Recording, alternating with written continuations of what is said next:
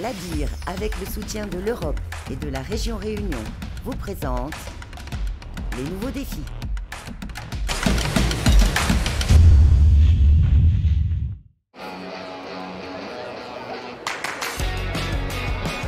Impossible de passer à côté dès l'entrée du salon. Le premier espace que l'on traverse est celui dédié à l'économie circulaire. Au milieu des stands, des éco-organismes, des associations et des entreprises impliquées dans ce domaine, un rond causé est dédié à ce thème. On a voulu faire un stand d'animation économie circulaire, notamment pour réunir les différents acteurs économie circulaire et pouvoir essayer de faire en sorte de co-construire ensemble un maillage économie circulaire sur le territoire, que les différents acteurs puissent avoir la parole et échanger sur ce stand et euh, ainsi euh, en fait améliorer les discussions et les échanges dans le monde économie circulaire à La Réunion. Sur cet espace animation euh, économie circulaire, on a essayé de nous donner du concret, de donner à voir vraiment ce qu'est l'économie circulaire au-delà des textes et euh, de la réglementation. Comment est-ce que les gens font vivre cette économie circulaire? Donc en fait, on a pas mal de pitch. En fait, en gros, on a 27 pitch euh, qui vont être des petites interventions de 10-15 minutes autour de quatre défis. Un défi locavore, on va avoir des restaurateurs qui se sont prêtés au jeu pour faire un menu au moins à 80% local. On a un défi de Réparali, Jetpali, Réparali, Transformali pour faire durer au maximum la durée de vie en fait d'un produit, euh, transformer sa nature, en tout cas qu'il ne soit pas jeté. On a un défi autour de Localisali. Euh, on achète de l'huile, de la farine à l'extérieur, mais qu'est-ce qu'on peut faire localement pour ne pas avoir à importer et pour faire avec les ressources locales? Et on a aussi des pitchs autour des filières à impact. Donc ce sont des entrepreneurs, des citoyens qui se disent mais si on faisait ça, en fait, ça pourrait devenir une vraie filière avec un impact positif sur la société. Et on a aussi des ronds causés. Des ronds causés, on va être un peu plus en format assis, euh, où pendant une heure et demie, on va avoir des acteurs qui vont parler ben, de l'économie circulaire, euh, sur l'économie sociale et l'économie circulaire. Est-ce que c'est de la complémentarité ou de la concurrence? Comment on travaille pour la captation des gisements pour qu'il y ait toujours euh, une plus-value pour l'individu, ou ça demande il là-dedans?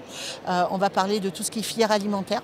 Avant d'arriver aux biodéchets, qu'est-ce qu'on peut faire pour éviter de gaspiller, pour transformer en aide alimentaire ou pour acheter moins cher? On pourra parler aussi des jardins créoles, le planter pour manger. Comment est-ce que ça permet en fait de moins consommer, de produire mieux parce qu'on produit localement, euh, ou aussi parler euh, de tout ce qui va être mobilisation des citoyens.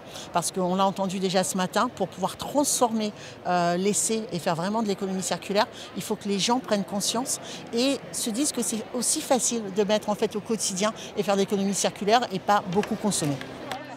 L'économie circulaire invite à la sobriété et à des changements de comportement dans les entreprises aussi.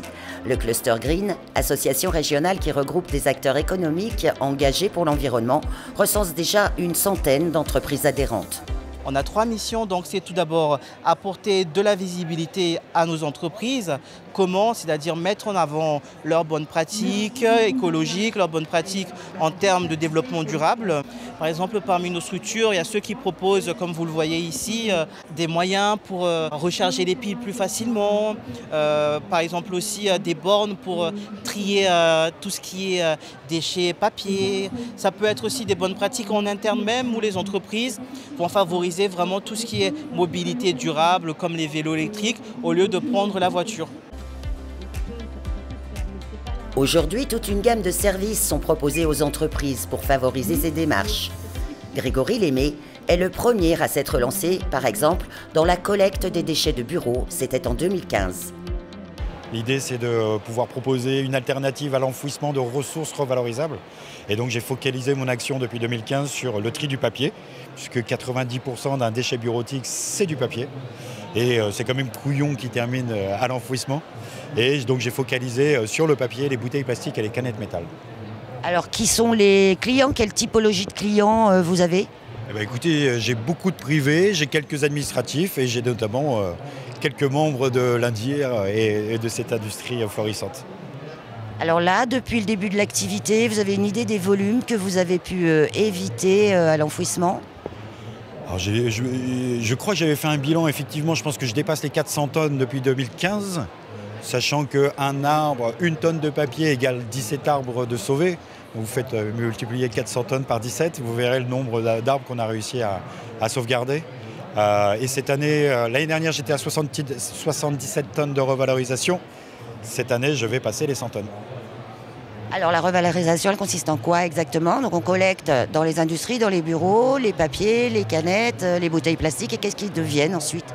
Alors je collecte et après je ramène vers Cycléa, le centre de revalorisation de l'Ouest, qui pour l'instant exporte, hein, notamment vers l'Asie et l'Inde. Euh, l'enjeu de demain, c'est de développer cette économie circulaire, cette retransformation locale et qu'on puisse réutiliser ce papier et ses ressources, puisque ce ne sont pas des déchets, ce sont bien des ressources. Pionnières dans le réemploi des bouteilles vendues aux consommateurs, les brasseries de Bourbon sont réputées pour avoir initié autour de leur industrie toute une économie circulaire, avec notamment des prestataires en charge de la collecte et du tri des chopines. Moins connus du grand public, d'autres déchets issus du brassage sont réinjectés dans l'économie locale. Oui, ça c'est la, on va dire que l'emballage c'est la partie la plus visible pour le euh, grand public, mais sinon on a d'autres initiatives d'économie circulaire et notamment avec nos ingrédients. Euh, donc on achète la brisure de riz à Sobori, euh, brisure qu'ils n'utilisent pas pour leur sachet le Forban. Et ça c'est une, de nos recettes dodo qui contient la brisure de riz. Donc ça permet d'utiliser un ingrédient qui n'est pas valorisable tel quel dans nos produits, dans nos bières et ça apporte la petite touche créole à notre recette de dos. Euh, et après, euh, quand on brasse une bière, on a en fin de processus de brassage quelque chose qui s'appelle la drèche, c'est les résidus de céréales. Et donc de ce riz, mais aussi évidemment du malt d'orge. Et donc ces résidus de céréales, on les donne à des agriculteurs parce que c'est un excellent euh, aliment, notamment pour les vaches. Donc la drèche des brasseries de Bourbon finit euh, pleine des cafres et puis à Sainte-Marie euh, pour nourrir euh, les élevages à La Réunion. Dernier point d'économie circulaire que j'ai en tête. Donc le dernier point, c'est le devenir de nos levures. Donc la levure, ça sert à, fermenter nos bières. Déjà en soi, la levure, c'est un ingrédient magique parce qu'on peut l'utiliser plusieurs fois. Donc en soi, la levure, c'est circulaire. on l'utilise euh, généralement jusqu'à 5 fois, 5 brassins, 5 grandes cuves.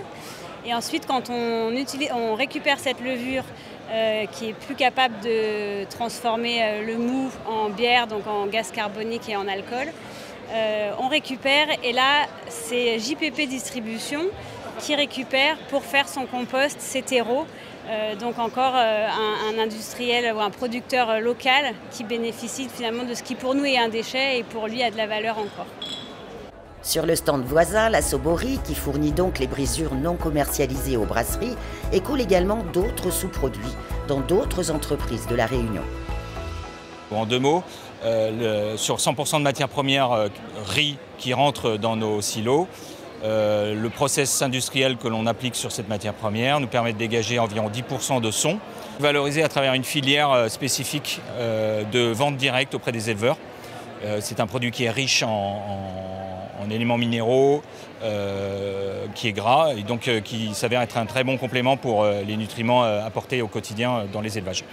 La brisure, elle, est valorisée auprès d'industries locales, soit la brasserie, soit euh, l'alimentation pour euh, les chiens et les chats. Installez-vous, puisque nous allons démarrer à 11 heures pétantes. Dans le secteur du déchet, Suez Recyclage et Valorisation, le géant de la collecte et du traitement des déchets, s'est lancé à son tour dans l'économie circulaire. Je commencerai par l'ADRI, qui elle est une association dont la finalité est de réemployer ou réutiliser ce qui à un instant T est un déchet mais grâce à leur travail, va redevenir un objet. Alors le réemploi, c'est on, réutilise, enfin on réemploie l'objet tel qu'il avait été conçu à l'origine, et la réutilisation, c'est on démonte cet objet pour en faire autre chose. Vous avez des exemples sur le petit mobilier qui est présent, euh, qui est présent sur le stand.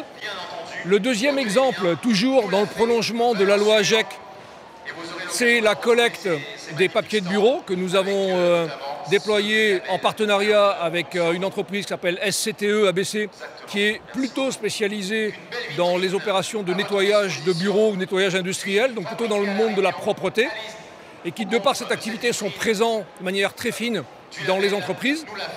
Nos clients nous ont déjà sollicité pour nous dire mais les papiers de bureau, euh, qu'est-ce qu'on peut faire? Et donc nous avons déployé une solution, là aussi, récupération au plus près de la production et ensuite intégration dans le cycle de euh, valorisation et recyclage.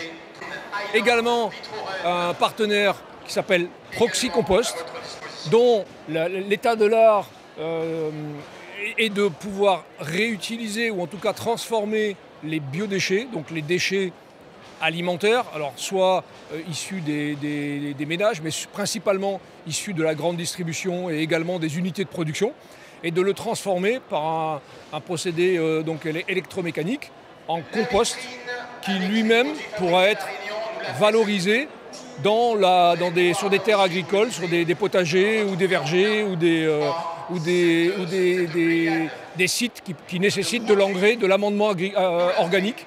Et donc ça fonctionne très bien. Donc le déchet en tant que tel n'a pas de valeur commerciale.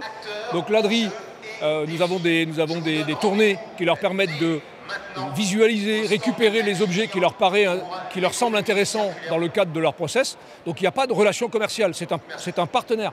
Et pour Proxy Compost, c'est pareil, il a ses clients, nous avons nos clients, et nous montons ensemble des unités de valorisation, de création de compost en commun.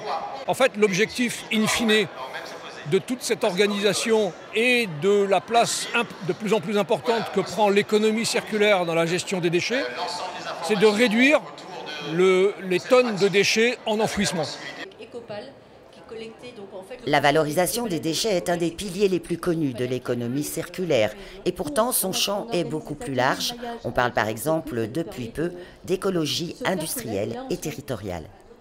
Ça vise effectivement à mettre euh, en place euh, des actions euh, au niveau d'un territoire avec un objectif final qui est la maîtrise des ressources qui sont présentes sur ce territoire. Quand on parle de maîtrise des ressources, ça va être l'eau, l'énergie, les déchets, éventuellement des équipements, des compétences, de, l'expertise, des choses comme ça qui peuvent être mutualisées au sein même d'un territoire. Donc ça, c'est un des volets de l'économie circulaire qui est intéressant et qu'on peut illustrer notamment par euh, je ne sais pas, justement sur, euh, sur euh, la dimension énergie. En fait, une entreprise peut très bien s'alimenter en énergie grâce à la valorisation d'une énergie fatale qui serait produite par l'entreprise voisine.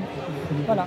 Donc c'est vraiment la mise en relation en fait, des entreprises qui permet d'identifier quelles pourraient être les ressources d'une entreprise X qui pourrait devenir en fait finalement une, une ressource pour l'entreprise Y. Voilà, et, pas uniquement sous l'angle déchets finalement.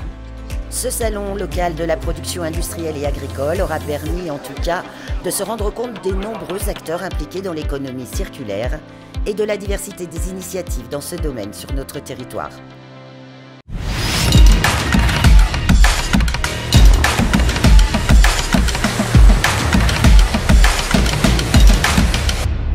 l'AGIR, avec le soutien de l'Europe et de la région Réunion, vous a présenté les nouveaux défis.